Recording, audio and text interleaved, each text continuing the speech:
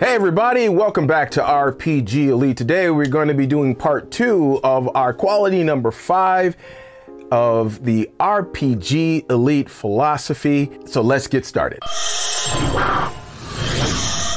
Welcome one and all to RPG Elite. This is the place where we put the RP back into RPG. And we do this by talking about things like we do in the day with our RPG Elite philosophy or I might give you a tutorial, I might give you a tip, or I might expose you to a new tool in the tabletop RPG space. And all of this, of course, is so that you, dear viewer, whether you're a returnee, whether you're one of my leets, what's up, or whether you're a greenie, brand new to the channel, it's for you to have a more immersive and enjoyable experience. So, as I said, this is part two of quality number five in the RPG Elite philosophy. RPG Elites don't play with any and everybody.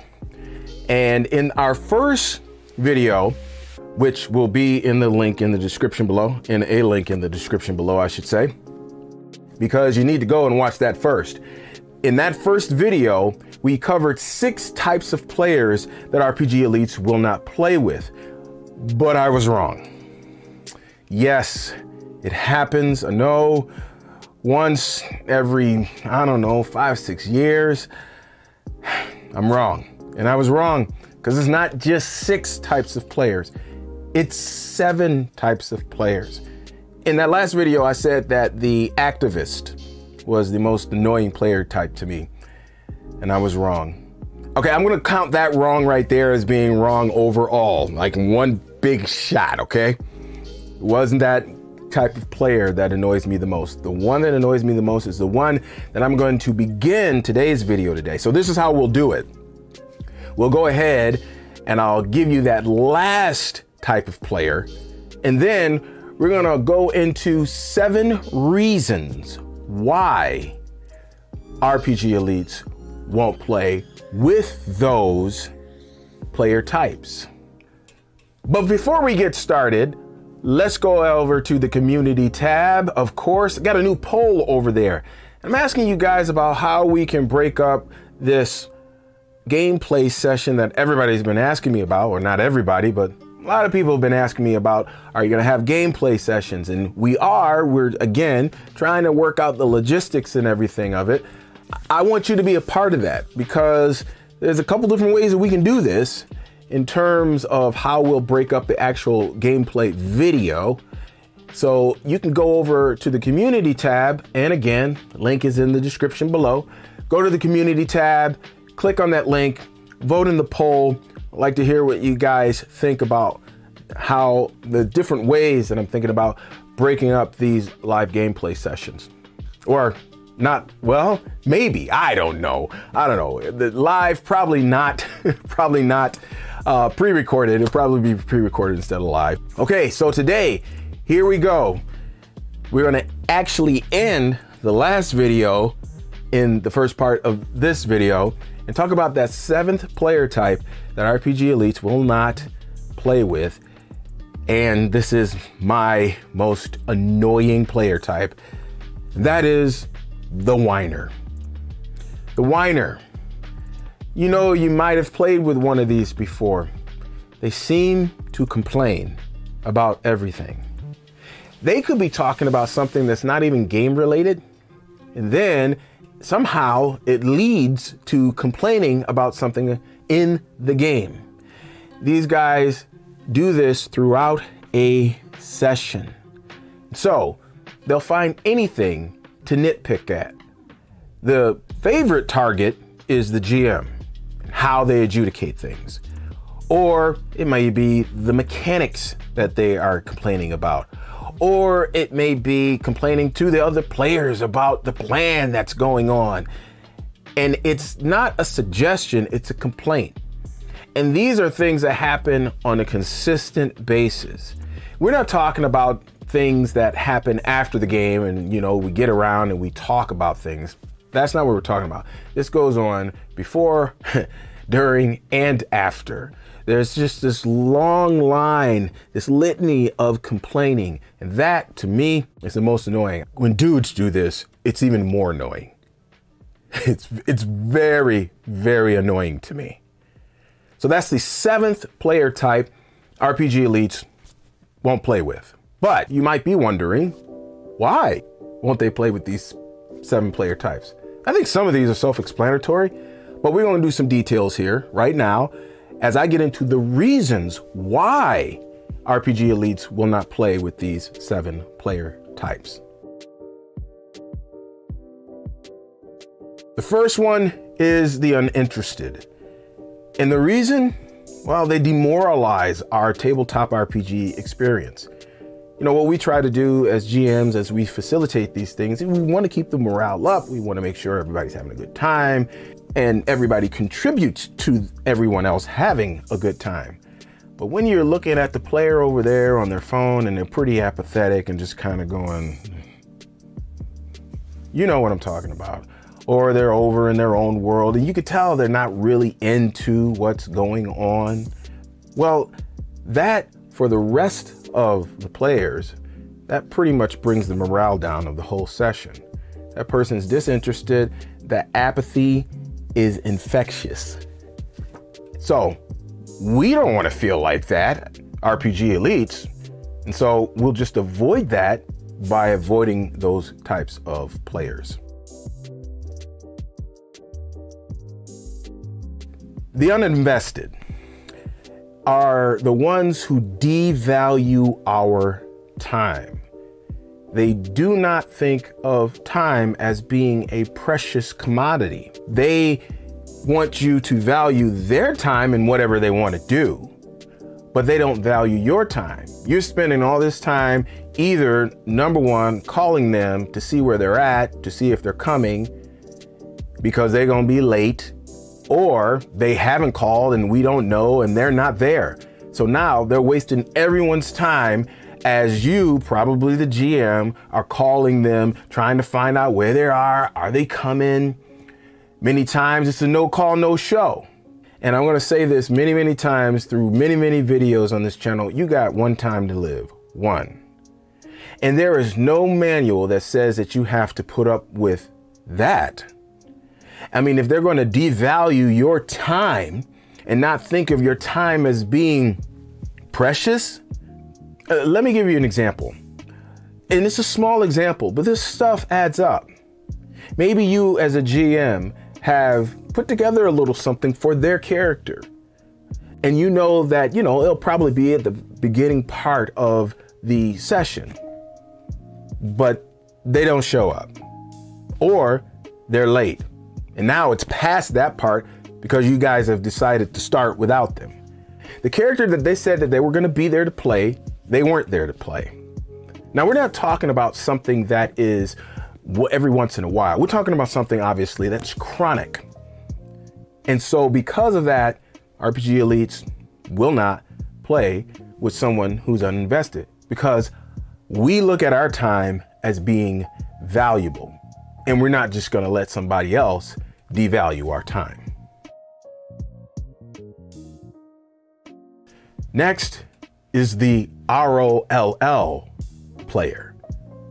Now, out of all of these player types, you will notice that six of them are individuals who have character issues, but not this one.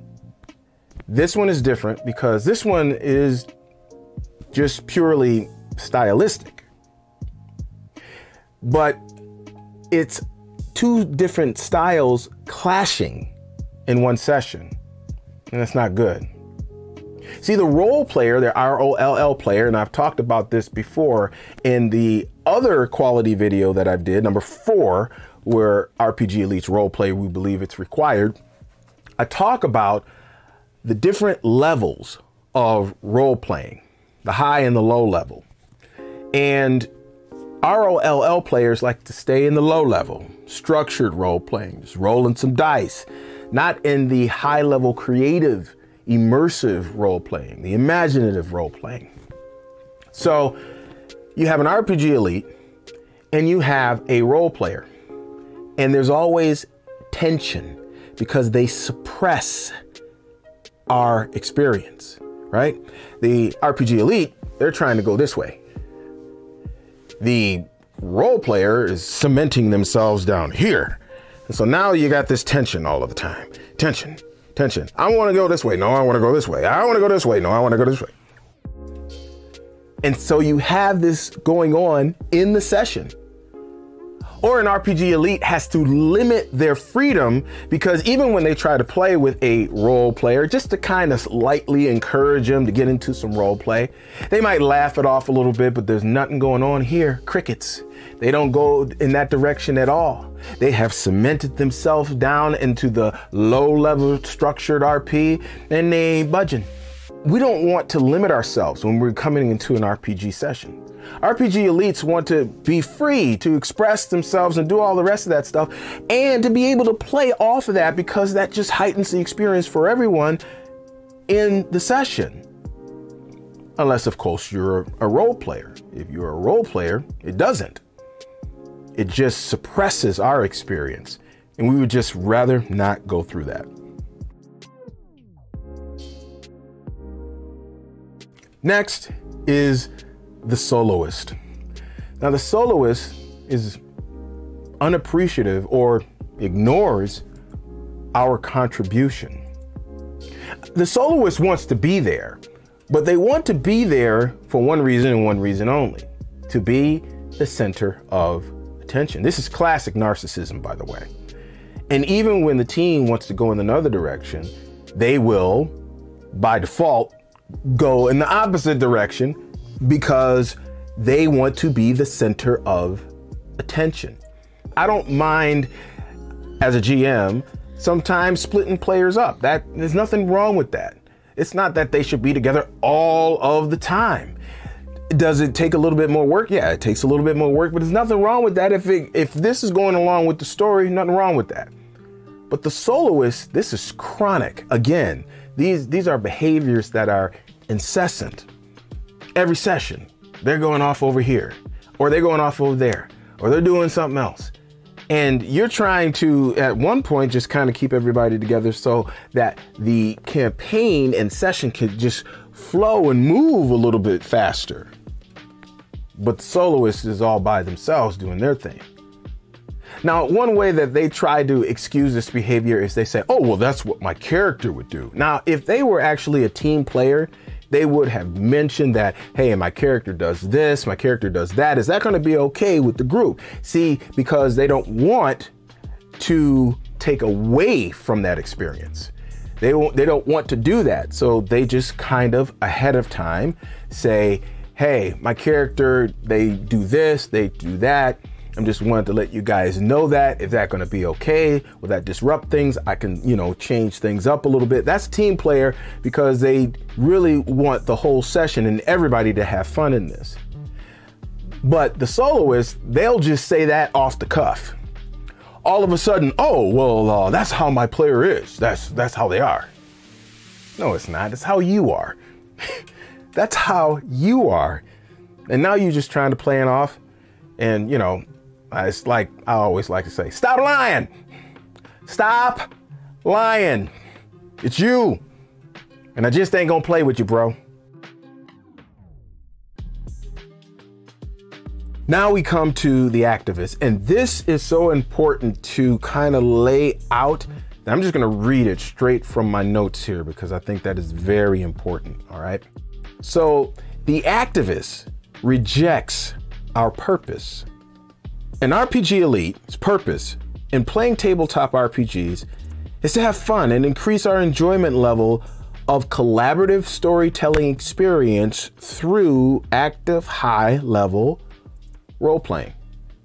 That is what an RPG Elite's purpose is when they come to the table of a tabletop RPG. Let me keep reading. The activist doesn't approach the game with that purpose in mind, but uses the game as a means to press forth a personal, political, religious, or whatever agenda. And they play that out through the game. And you know who they are, right? Some of you guys call them SJWs, social justice warriors. And they like to use the game as their platform to do that. Now, I'm going to make a separate video that addresses this specifically, but uh, GMs need to not have that in their campaigns because this is again one of those things that it's not just this character, but it's the character after, and it's the character after that, and it's the character after that. All right. Well, I mean, if you allow that stuff in your campaign, that's you. I ain't gonna allow that. I ain't gonna be a part of that. I came here for a high level collaborative storytelling RP experience. So, RPG Elites, we will pass on that all day, every day. The monster. Okay, well, I think that's self explanatory because they just destroy everything. And I don't think anybody, I don't think this one right here is an RPG elite thing. I think this one right here is just like anybody. Nobody likes to play with a monster. But some people will tolerate them. Now, listen, some people will tolerate them and they'll use this as an excuse. Well, they're my friend. All right, well, you need to get new friends because what's playing out with the monster right there is a huge character flaw. And if that's your friend, okay, then we, we need to talk to you about the, you know, the company you keep. And you bringing that down on other people, RPG Elites won't even have it. We will see that and hit the door. I'm not sitting there and watch these cats do some crazy stuff and kill my experience for the next three hours. Nah, that's all right. I won't do that. Y'all do your thing, but I'm not a part of that. And any RPG elite will take that and be like, see ya, wouldn't want to be you. Now, the last one, of course, is the whiner. And the whiner is just ungrateful for the RP, the tabletop RPG session. Their complaining is actually complaining uh, of the ungratefulness of the camaraderie, of getting together in a social context, of even being allowed to be a part of that group. They're ungrateful. They think somehow they're privileged and should be there so they can complain about everything. And listen, nobody has to have you in their group. This is the wonderful thing about everybody who's coming to the tabletop RPGs. But if all you're gonna do is whine and complain and be ungrateful, uh, you can leave. I'm sure it's water off of a duck's back for all of those who are involved.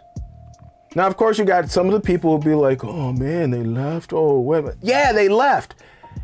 Start looking at your time as being valuable and your experience as being precious instead of trying to please everybody and get a whole bunch of people just to come to the table. Sometimes less is more. Now, that's another video that I'm going to make. It's not sometimes less is more, many times less is more. And that is especially true for tabletop RPG sessions. So there it is, folks. Seven reasons why RPG elites will not play with these seven player types. I want to know what you think by putting your comments down below. And if you like this video, then you could crush that like button. And if you really like the content on this channel, then why don't you go ahead, consider subscribing right now today. Hit that subscribe button and don't forget, hit the notification bell as well. I come out every Tuesday and Friday with videos. That's gonna do it for me, serving of Shiloh in the hizzy, or getting ready to get out of the hizzy so I can get busy. And until next time, if you've got some games going on this week, then happy gaming, and I'll catch you on the flip. Peace.